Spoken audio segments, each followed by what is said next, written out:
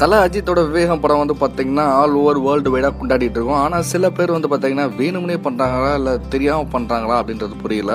ரொம்ப கலவையான விமர்சனங்கள் வந்து வெளியிட்டு இருக்காங்க. அதுலேயும் சில பேர் வந்து பார்த்தீங்கன்னா படம் ரிலீஸ் ஆகிறதுக்கு முன்னாடியே கூட விமர்சனங்கள் போடுறாங்க. அதெல்லாம் எப்படின்னே தெரில உலகத்திலேயே வந்து பார்த்தீங்கன்னா ப்ரீமியர் ஷோ எங்கேயுமே ரிலீஸ் பண்ணாமல் டேரெக்டாக இருபத்தி நாலாம் தேதி அதிகாலை மூன்று மணிக்கு படம் ரிலீஸ் பண்ணாங்க. ஸோ அப்படி இருக்கும்போது பார்த்தீங்கன்னா முன்னாடி இருபத்தி மூணாவது நாளே ஒரு சிலரெல்லாம் படம் பார்த்துட்டோம் நாங்கள் வந்து ரிவ்யூ போடுறோம் அப்படிலாம் போட்டிருந்தாங்க. அது என்ன காரணமோ தெரியல.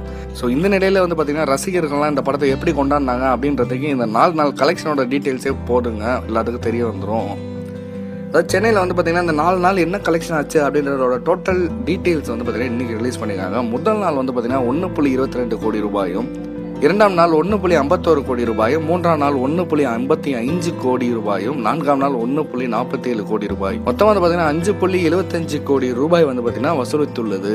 இந்த வசூல் வந்து பார்த்தீங்கன்னா நம்ம தமிழ்நாட்டோட தலைநகரமான சென்னையில் மட்டும் வசூலித்த டீட்டெயில்ஸ் ஸோ இவங்களோட எதிர்மறையான விமர்சனம் வந்து படத்தை வந்து கவுத்திரும் அப்படின்னு நிறைய பேர் நினைச்சிருப்பாங்க போலாம் ஆனால் அதுதான் வந்து இன்னைக்கு வந்து ஹை பீக்கில் கொண்டு போயிட்டு இருக்கு அப்படின்றது அவங்களுக்கு தெரியல. ஸோ மேலும் சினிமா சம்பந்தப்பட்ட செய்திகளை தெரிஞ்சுக்க சினிமா செவன் டுவெண்ட்டி சேனலை சப்ஸ்கிரைப் பண்ணுங்கள்